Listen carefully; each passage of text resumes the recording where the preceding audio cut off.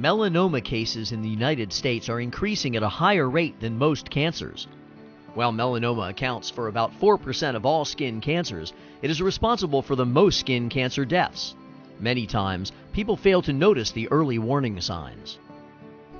Had a uh, freckle that was on my forehead for uh, most all of my life that I remember, and uh, in the last couple of years, seemed like it uh, changed in size, shape, and discolored and turned from like you know freckle brown to uh, dark looking black.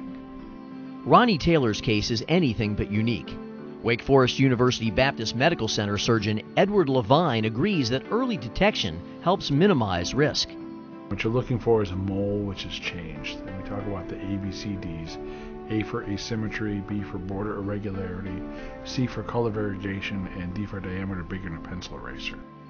To remove the melanoma, surgeons at Wake Forest University Baptist perform a wide excision and sentinel lymph node mapping procedure. A radioactive tracer is injected into the area around the tumor to locate the nodes likely to contain cancer.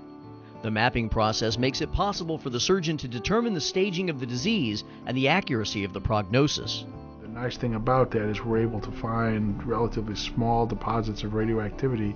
They tend to collect in the lymph nodes after they're injected in the skin. So it's really a nice technique to be able to tell you which lymph nodes are most likely to have melanoma in them, if indeed any of them do.